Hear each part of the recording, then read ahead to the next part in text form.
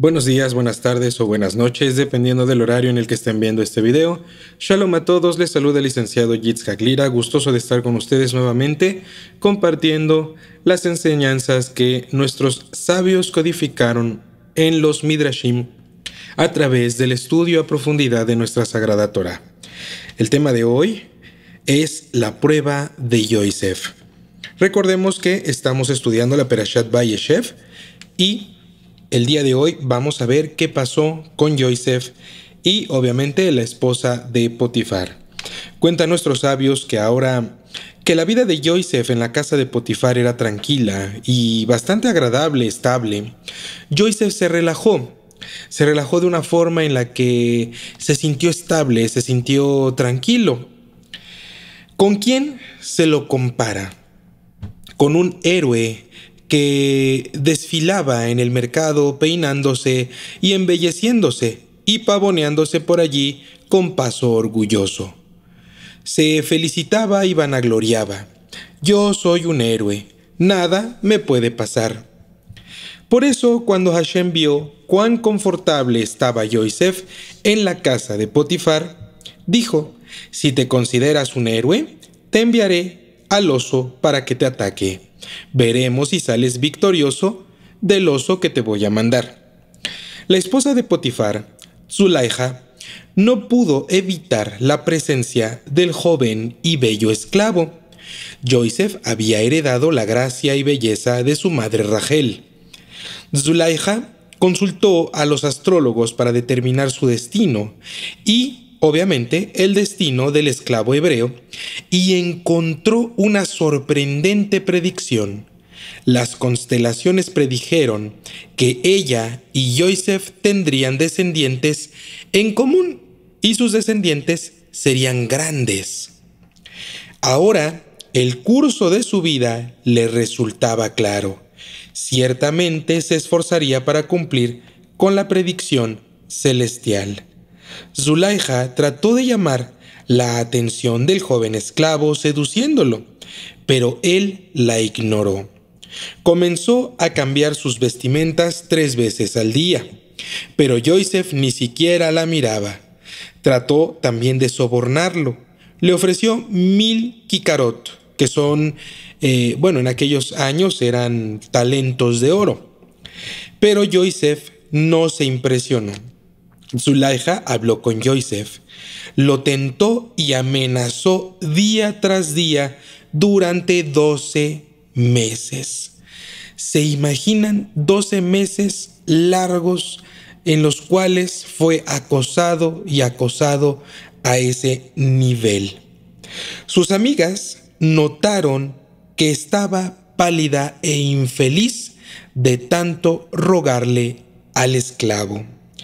¿Qué te ocurre, Zulaija? le preguntaron. Les contaré un secreto, contestó. Vengan a tomar el té conmigo esta tarde. Cuando se sentaron a la mesa, ella les entregó a cada una un cítrico y un cuchillo filoso con el cual pelarlo. Luego llamó a Joseph y el esclavo apareció en el umbral. Todas se volvieron y se asombraron por su belleza. Cuidado con sus dedos, les advirtió Zulaija. Demasiado tarde, cada uno de los dedos de las señoras estaba lastimado y sangrando. Por no quitar la vista de Joseph, no se dieron cuenta que estaban cortándose los dedos con los cuchillos. ¿Se imaginan qué hermoso fue nuestro patriarca Joseph para llamar la atención eh, eh, de personas que estaban dentro de la nobleza, de la realeza egipcia? Ahora se dan cuenta lo que estoy sufriendo, se quejó Zulaija. Ustedes solo lo vieron por un momento. Yo tengo a este esclavo hebreo frente a mí cada día y se niega siquiera a mirarme. ¿Esto esclavo? Simplemente dale una orden y deberá obedecerte. No con Joseph. Le he prometido oro y plata. Trato de persuadirlo todos los días y aún así no me escucha. Las hizo prometer que no revelarían su secreto.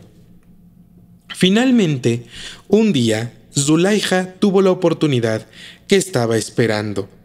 Fue el día en que el Nilo se desbordó.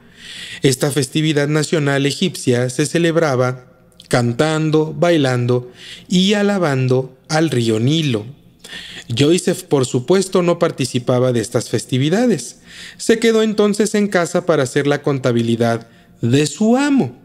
La casa se quedó sola porque su amo celebraba estas festividades junto con todos los demás sirvientes. Joseph estaba en falta por haberse quedado en la casa solo con Zulaija y por lo tanto el Yetzer Hará tuvo motivaciones para atacarlo. El Yetzer Hará es la mala inclinación. Siempre nos han enseñado nuestros sabios que debemos evitar situaciones que nos comprometan a caer en errores o en este caso pecados. Y este fue un error que cometió Yosef, quedarse solo con una mujer prohibida, dentro de un recinto, sin testigos, obviamente. Y bueno, pues fue tentado. Hasta ahora había tenido cuidado de no recluirse con ella y al permanecer en la casa, él mismo le dio la oportunidad de persuadirlo a pecar al tomar la decisión de quedarse. Así entonces precipitó su propia prueba y las tribulaciones que resultaron de ella. Todas las mañanas nos levantamos y rezamos. Bealtivienu li dei nisayon. Oh Hashem, no me expongas a pruebas. Nuestros sabios opinan que es preferible evitar confrontarse con el Yetzer Hará más que desafiarlo y luego sobreponerlo. Por lo tanto, es mejor evitarlo que desafiarlo y sobreponerse, porque muchas veces el Yetzet Hara es bastante fuerte en la persona y terminamos cayendo en el error. Por ejemplo, es preferible evitar malas compañías que mezclarse con ellas y luego resistir sus malas influencias. Es preferible no poseer en el caso de las comunidades mm, más radicales, más extremistas, en el sentido más ultraortodoxo, eh, nuestros sabios comentan que es preferible no poseer una televisión que tenerla y luego tratar de controlar lo que vemos a través de ella. Retomando el tema, Zulaija se había excusado y se quedó en casa diciendo que no se sentía bien. Pensó Estaremos solos en la casa juntos por un rato. Ahora le convenceré para que me escuche.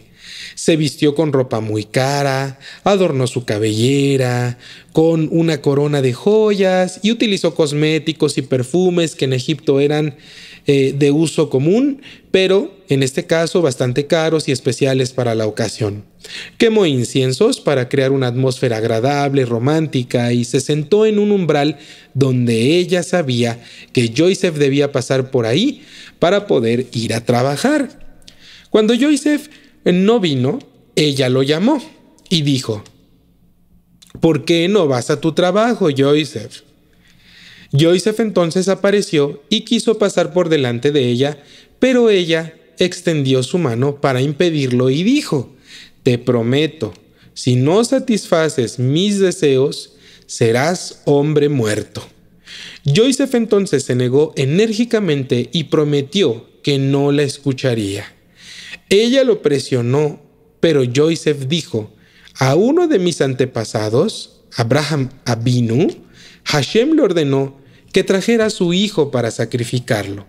Quizás un día seré elegido como sacrificio y entonces me consideraré apto si yo cometo esta clase de errores, esta clase de pecados.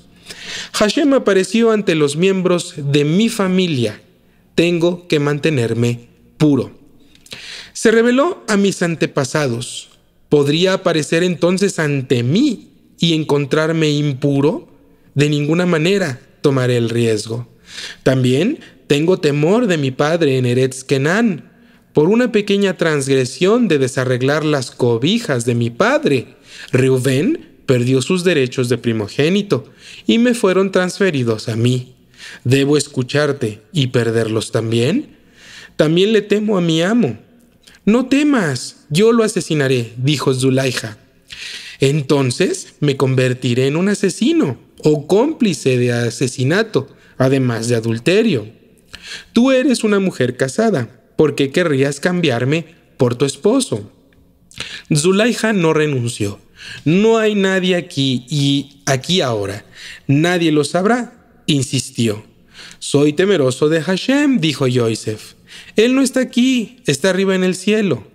Nada se oculta de Hashem, le contestó Yosef. Ella tomó una manta y cubrió la cara del ídolo que estaba en su habitación. Entonces Yosef se sonrió. ¿Ves? ¿Tienes vergüenza frente al ídolo? ¿Qué debo hacer? Los ojos de Hashem están en todas partes. Nada se oculta de él. Sin embargo, Zulaija siguió presionándolo y presionándolo, y Yosef entonces se debilitó. Estuvo a punto de rendirse ante la sensualidad de ella, cuando se le apareció una visión en ese momento. Vio la imagen de su padre y la de su madre Rachel. Escuchó a Jacob decir, Yosef, habrán doce gemas preciosas sobre las vestiduras del Cohen Gadol, una por cada tribu. Si pecas, tu lugar estará vacío. Las palabras de Jacob significaban que la Shejinah residiría en el Hoshen Mishpat. Sin embargo, tu piedra deberá ser removida porque Hashem odia la inmoralidad. La sangre de Yosef en ese momento se heló y entonces pudo resistir la prueba. Realmente hizo un verdadero Kiddush Hashem, dejándose conducir por la sagrada Torah y no por la presión externa y el temor de lo que la gente podría decir. Su corazón estaba impregnado de temor a su Creador y este hecho, en última instancia, guió su comportamiento. Zulaija se dio cuenta que su causa estaba perdida. Tomó a Yosef con una mano y con la otra desenvainó una espada de entre sus vestimentas. Rápidamente Yosef se quitó sus vestimentas, dejándolas en sus manos para escapar, y corrió por la puerta. Había pasado la prueba escapando del pecado. Todo judío, después de su vida en este mundo, rendirá cuenta ante un tribunal celestial. Eso es inequívoco y lo comentan la mayoría de nuestros sabios en todas las generaciones que han pasado. Se le preguntará, dicen nuestros sabios, ¿por qué descuidaste el estudio de la Torá, que es la ocupación fundamental de cada judío? Vamos a ver varios casos que explican y uno es, el pobre se defenderá diciendo, ¿qué podía hacer? Tuve que mantener a mi familia, ¿cómo habríamos vivido si yo hubiera estudiado Torah? ¿Quién era más pobre? ¿Tú o Gilel? será la respuesta. Gilel no ganaba casi nada. Una trepica que en aquellos años, en aquellos tiempos, era una pequeña moneda, por día. Sin embargo, la mitad la gastaba para pagarle al guarda de la puerta del Beit Hamidrash y así poder entrar, mientras que el resto era para satisfacer las necesidades de su familia. Un día, cuando no tuvo dinero para entrar, se trepó al techo del edificio para escuchar las palabras de la Sagrada Torah que salían de la boca de Shemaya y Aftalión. Era un frío día de invierno y la nieve comenzaba a caer. Al día siguiente, que era Shabbat, Shemaya y Aftalión notaron que el Beit Hamidrash estaba oscuro. Miraron al techo y vieron la figura helada de un hombre en el tragaluz. Lo bajaron, lo lavaron, lo untaron con aceite y lo reanimaron junto al fuego. Por este hombre vale la pena profanar el Shabbat, proclamaron. Si Gilel pudo hacerlo, ¿por qué no ustedes? Será la respuesta del tribunal celestial. Caso número 2. Cuando se le llegue a interrogar acerca de su falta de estudio de Torah, de fe, al comerciante, eh, que vendrá y se excusará diciendo, ¿qué podía hacer? tenía que continuar con mi negocio. No pude estudiar más Torah de lo que, de lo que pude hacer. La respuesta a esta pregunta aparentemente simple será, ¿eres más rico de lo que era Rabí Elazar ben Harsum? Rabí Elazar poseía mil pueblos en la tierra y mil naves en el mar, pero nunca supo cómo eran. No quiso perder el tiempo inspeccionando sus diversas propiedades porque prefirió pasar el día y la noche estudiando Torah. Sus propios sirvientes no conocían siquiera a su amo. Cuando una vez lo vieron pasar, pensaron que era un trabajador y lo obligaron a trabajar. Les imploró, déjenme ir, debo estudiar. Solamente cuando supieron quién era, entonces lo liberaron. Si él pudo hacerlo, ¿por qué no tú? Otro caso que nos dicen nuestros sabios es que cuando se le pregunte a una persona sensual, que se le dan estos, estos menesteres, ¿qué impidió que estudiaras Torah? ¿Qué debía hacer? Se excusará. Soy un buen mozo y no pude controlar mis pasiones. La vida está llena de placeres. ¿Cómo podía dejarlos pasar para poder estudiar Torah? Tu excusa no es aceptable, se le responderá. ¿Eres más buen mozo que Yosef? La esposa de Potifar lo tentó todos los días mientras estuvo en casa de Potifar, cambiándose de ropa tres veces al día. Sin embargo, pudo sobreponerse a su Yetzer Hará. ¿Por qué no puedes tomar el ejemplo de Yosef? Una historia que nos cuentan nuestros sabios es bastante interesante y dice de la siguiente manera. Una noble romana preguntó a Rabí Yosef Bar Halafta, ¿Cómo puede concebirse que Yosef, a los 17 años, en la plenitud de sus pasiones, pudo contenerse de cometer un pecado con la esposa de Potifar? Su Torah debe estar ocultando los hechos como realmente ocurrieron. Rabbi Yosef tomó un Sefer Bereshit y le leyó la historia de Reuben y Bilá y la historia de Yehudá y Tamar. ¿A quién debería encubrir la Torah? ¿A un hijo en la casa de su padre o a un simple esclavo en la casa de su amo? le preguntó a la noble. Seguramente al hijo en la casa de su padre, contestó ella. Él le dijo, sin embargo, la Torá no perdonó ni a Reubén, el hijo, en la casa de su padre, y el mayor de las tribus, ni a Yehudá, sino que difundió sus errores para que fueran enseñanzas a futuro para las generaciones futuras. ¿Piensas que el pecado de Yosef, un esclavo y el más joven de las tribus, sería ocultado por nuestra bendita Torá? Tus palabras son verdaderas y tu Torá es verdadera, admitió la noble. Joseph, al cuidarse de la inmoralidad en Egipto, preparó el camino para todos sus descendientes en el exilio egipcio, para conservar un nivel moral alto a pesar de la extrema corrupción que prevalecía allí. De esto aprendemos que nosotros podemos sobreponernos ante cualquier situación que vivamos en nuestro día a día por muy difícil que sea la situación. Recordemos que Joseph fue tentado los 365 días del el año por una mujer que lo estaba tentando. Procuremos aplicar estas enseñanzas en nuestras vidas, ser mejores, cumplir la Torah y ser diferentes cada día, inspirando a otros a cambiar y a ser parte del Tikkun Olam. Muchas gracias por escucharme. Les ha hablado el licenciado Yitzhak Lira. Me despido no sin antes desearles que el Eterno les bendiga, les prospere y les preserve todos los días de sus vidas. Nos vemos pronto.